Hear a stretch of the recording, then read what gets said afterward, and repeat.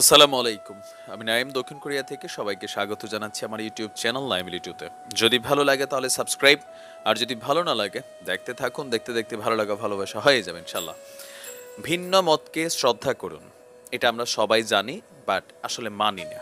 আর না মানার কারণ হচ্ছে কি, যে আমাদের হাতে যখন ক্ষমতা থাকে, অথবা ধরেন আপনি যে কোনো একটা ইস্যুতে আপনার একটা একটা কি বলা হয় যে, একটা মাইন্ডে একটা জিনিস সেট করা আছে। তো আপনি ভাবছেন যে আপনার পছন্দের একজন মানুষ হোক, অপছন্দের মানুষ হোক, যে কোনো একজন মানুষের সাথে যখন আপনি ইস্যুটা নিয়ে আলাপ করছেন, তখন ওই লোকটা আপনার মন মতো কথাগুলো বলতে হবে। যদি না বলে, তাহলে তারে ক্ষেত্র বিশেষে যদি অনলাইন প্ল্যাটফর্ম হয়, গালাগালি করা। আর যদি মানে প্র্যাকটিক্যাল গ্রাউন্ড ফ্লোরে হয়, সামনে থাকে, নগদে থাবর যদি ক্ষমতাশীল হয়, আর যদি থাবর টাবর দিতে না পারে, মনে মনে গালাগালি করে। এবার তার মতের বাইরের যে মতটা, সেটা কি সত্য নাকি মিথ্যা, এটা সে যাচাই করে দেখার সুযোগ নেই। আবার এটার পেছনে অনেকটা আছে আমাদের রাজনৈতিক মেন্টালিটিও আছে, ধর্মভিত্তিক মেন্টালিটিও আছে, যে আমার কি বলা হয় যে, কিবলা বাবা, পীর বাবা যেটা করছে এটা আমার ফলো করতে হবে, ভুল হোক, সঠিক হোক। রাজনীতির ক্ষেত্রে আমার বস যিনি, আমার নেতা যিনি, তিনি যেটা বলছেন, এটাই সঠিক, এখানে আর অন্য কোনো মতেরই সুযোগ নেই। বাট এই জিনিসগুলাই আজকে সমাজে অস্থিরতা তৈরি করছে। কেন এতগুলো কথা বলছি? আপনাদের নিশ্চয়ই খেয়াল আছে যে বর্তমান আফগানিস্তানে যারা শাসনবার গ্রহণ করেছে, তালেবান। দেখেন, তালেবানদের নিয়ে আমাদের মাথা ব্যথা নাই পজিটিভও নাই নেগেটিভও নাই, কিন্তু তালেবান ইস্যুটাকে কেন্দ্র করে যখন আমরা নিউজ করছি, সেখানে প্রতিনিয়ত টুইস্ট আসছে, আর সেই টুইস্টের একটা টুইস্ট নাম হচ্ছে ডক্টর তমাল ভট্টাচার্য। তালেবানরা শাসনভার গ্রহণের পরে আফগানিস্তানে প্রচুর অন্যায় অত্যাচার করতেছে, নারীদেরকে মাইরা ফেলতেছে বিয়ের জন্য ঘরের থেকে তুলে নিয়ে আসতেছে, রাস্তাঘাটে গুলি করতেছে এয়ারপোর্টে গুলি করতেছে। এই যে খবরগুলা আমরা বিভিন্ন গণমাধ্যমে দেখেছি, আমাদের দেশ থেকে শুরু করে ভারত থেকে শুরু করে আন্তর্জাতিক দেশগুলোতেও মানে নানান ধরনের যে নিউজগুলা, এই নিউজগুলো দেখে আমরা যখন একটা মনে মনে বিশ্বাস তৈরি হয়ে যাচ্ছিল যে, না, আফগানিস্তান তো শেষ ভাই। কিন্তু হঠাৎ করেই এই কলকাতার স্কুল শিক্ষক ডক্টর তমাল ভট্টাচার্য, যিনি আফগানিস্তান থেকে ফেরত আসলেন। সেখানে বন্দি দশায় ছয় দিন ছিলেন, বাট তিনি বন্দি ছিলেন না, একটা নির্দিষ্ট স্থানে আবদ্ধ ছিলেন, তালেবানদের দ্বারাই প্রটেস্ট পাচ্ছিলেন। সেইখান থেকে আসার পরে তিনি অকপটে, খুব সাহসের সহিত তিনি যে কথাগুলো তালেবানদের সম্পর্কে বললেন, এই ভিডিওটা ভারত, বাংলাদেশে, হিন্দি, বাংলায় নানানভাবে, এটা কিন্তু ভাইরাল হয়ে গেছে। আর এই ভাইরাল হওয়ার পরে ঘটনা কি হয়েছে আপনি জানেন? যে ডক্টর তমাল ভট্টাচার্য যখন ঘর থেকে ঠিকমতো বের হইতে ভয় পাচ্ছে কারণ হিউজ পরিমাণ থ্রেড ওনাকে দেওয়া হচ্ছে। সোশ্যাল মিডিয়া প্ল্যাটফর্ম থেকে শুরু করে তাকে ফোনের মাধ্যমে ওনাকে হুমকি দামকি দেওয়া হচ্ছে, এরকমই বোঝা গেছে। দর্শক ওনার কিছু বক্তব্য বিভিন্ন ফেসবুক পেজে ভারতের বিভিন্ন ফেসবুক পেজে প্রচারিত হয়েছে। এটা রিপিটেডলি এটা কি বলা হয় যে প্রচার করা হয়েছে। নিচে কমেন্ট বক্সে তারে গালি, লাথি, উষ্টা জঙ্গি থেকে শুরু করে নানান কিছু মানে যা যা পারা গেছে হিন্দু ধর্মের ভিতর রাইখা। এখন ডক্টর তমালের ভাগ্য ভালো যে তিনি আসলে মুসলমান হন নাই। এই মুহূর্তে যদি তিনি মুসলমান হইতেন, আমার মনে হয় যে এতক্ষণে কলকাতা থানা পুলিশ তারে গ্রেপ্তার ট্রেপ্তার কইরা মানে জঙ্গিবাদীর চার্জ লাগাইয়া ইনভেস্টিগেশন কইরা তার পরিবার টরিবার নজরদারি সহ অনেক কিছু ভারতে ঘটে যেত যে নাও, এই বেটা তো আফগানিস্তান যাইয়া তালেবানি হয়ে গেছে, সে হ্যাঁ জঙ্গি।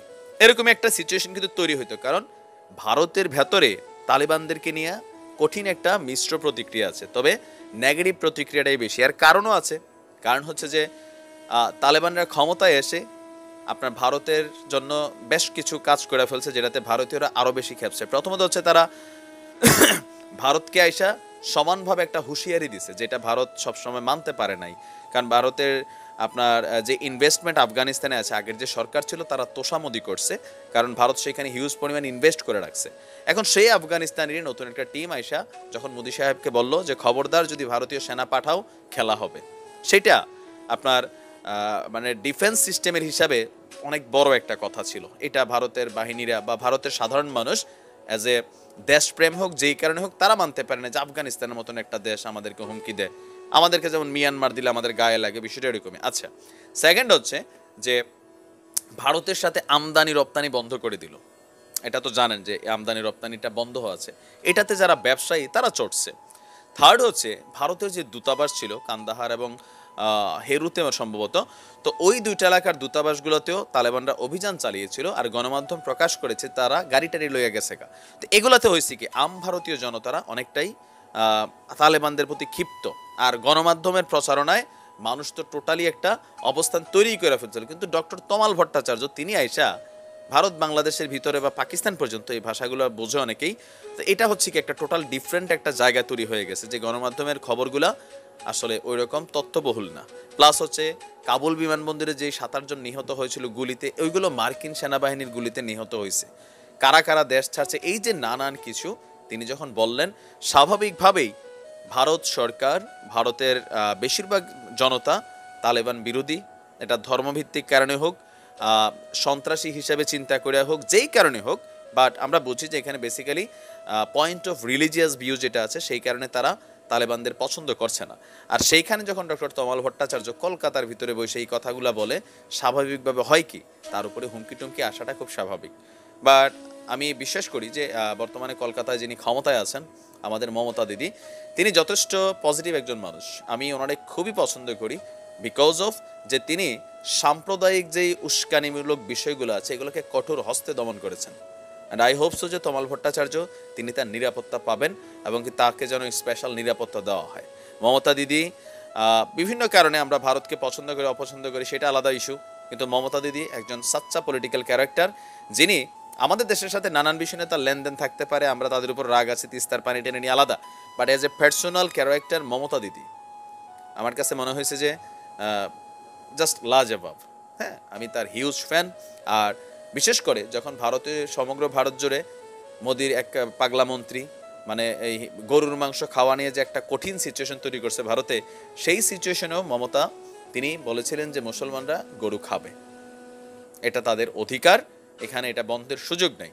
এমনকি যখন নাগরিকত্ব সংশোধনী বিল আসছিল, তখনও কিন্তু বাংলাদেশ ইস্যুতে, মুসলিম ইস্যুতে মমতা দিদি যেটা সঠিক সেটা করছেন, মুসলমানদের পক্ষে না বুঝেন আজকের দিনে আমি বিএনপির একটা লোক যদি ভালো কাজ করে, একজন আওয়ামী লীগের কর্মী যদি সেটা বলে, এটা বিএনপির পক্ষে বলার বিষয় তা না। লোকটা ভালো কাজ করছে, সেটা বলছে। আওয়ামী লীগের একটা লোক ভালো কাজ করছে, বিএনপির একজন কর্মী যদি বলে, এটা আওয়ামী লীগের পক্ষে আসে নাই যেটা সত্য সেটা বলছে, যেটা সঠিক সেটা বলছে। আর আমাদের এখন হয়ে গেছে কি, সঠিকটা বললে আমি আওয়ামী লীগ করে যদি বিএনপিরটা বলি, ভাই তুই বিএনপির যোগ দিচ্ছ তুই তো দালাল চাটুকার। আমি মুসলমানে হিন্দুরটা বললে হিন্দুর দালাল হয়ে যাব। আর হিন্দু হয়ে যখন মুসলমানেরটা বলছে আজকে ডক্টর তমাল ভট্টাচার্য, তিনিও মুসলমানদের দালাল হয়ে গেছেন তালেবানের দালাল হয়ে গেছেন। দেখেন, তালেবান ইস্যুতে আমাদের ওই রকম মাথা ব্যথা নাই। একটা কন্টেন্ট হিসেবে আমরা কথা বলি, তালেবানরা দেশ চালাক না, এরা অন্য কেউ চালাক, এগুলাতে আমাদের বাংলাদেশের বা আমাদের কিছু যায় আসে না। এদের সাথে আমাদের এরকম লেনদেন কিছুই নেই। বাট যেটা সত্য সেটা মানুষ জানুক। কোথাও না কোথাও তালেবানরা যেহেতু মুসলমান, আন্তর্জাতিক বিশ্বে মানে আমাদের এইসব দেশে এইসব নিউজগুলো খুব ফলাও করে আপনার ওই যে ব্যানার ট্যানার ঝুলে দেখি আমরা মানে স্ট্যান্ড টিভি টিভিতে এই নিউজগুলো আসে। তখন হয় কি, মুসলিম হিসাবে যে আফগানিস্তানে যদি তালেবানদের বিষয়টা পজিটিভ হয়, তাহলে মুসলমানদের এটাতে কি হবে? আউট ওয়ার্ল্ডে যারা বসবাস করি তাদের জন্য পজিটিভ আর তালেবানরা যদি সেখানে নেগেটিভ কর্মকাণ্ড করে তখন সেটা আমাদের জন্য নেগেটিভই ফিল হয়। কারণ কি দেখো, আরে তোরা মুসলমান, এই যে দেখ মুসলমানদের চরিত্র just because of this nothing else আমরা ইসলামে উগ্রবাদ পছন্দ করি না, ধর্মান্ধতা ইসলাম পছন্দ করে না, অন্যের মতকে, অন্য ধর্মের মানুষদের উপর অত্যাচার ইসলাম পছন্দ করে না, শান্তির ধর্ম, ইসলাম ভালোবাসায় বিশ্বাসী, ইসলামে হত্যা, ধ্বংস, তারপরে বিনা কারণে মানুষকে মারা ধর্ষণ করা, নারীদের উপর অত্যাচার করা, ইসলাম এগুলো শিক্ষা দেয় নাই। আর যারাই দাড়ি টুপির আড়ালে এইসব কর্মকাণ্ড করবে, বাস্তবে তারা ইসলাম থেকে খারিজ, তারা অন্য কোনো বিশেষ উদ্দেশ্যকে বাস্তবায়নের জন্যই এই কাজগুলো করছে। আজকে তালেবানরা যদি দেখা গেছে সেখানে নারীদের উপর অন্যায় অত্যাচার করে, বা বিভিন্ন রকম যারা বিধর্মী আছে, তমাল ভট্টাচার্যের কথায় ভালো লাগছে যে মুসলমানরা এমনই হয়। বাট যদি বিপরীত চিত্র আসে, তখন আমরা অবশ্যই সেটাকে প্রটেস্ট করব। আমাদের কাজ হচ্ছে সত্যটা প্রকাশ করা আবার এটা শত্রুর পক্ষে যাক আর মিত্রের বিপক্ষে যাক। যেটা সত্য সেটা সত্যই। ভালো থাকুন, সুস্থ থাকুন। ডক্টর তমাল ভট্টাচার্য দাদা, সাবধানে থাকুন। আজ এই পর্যন্ত আসসালামু আলাইকুম।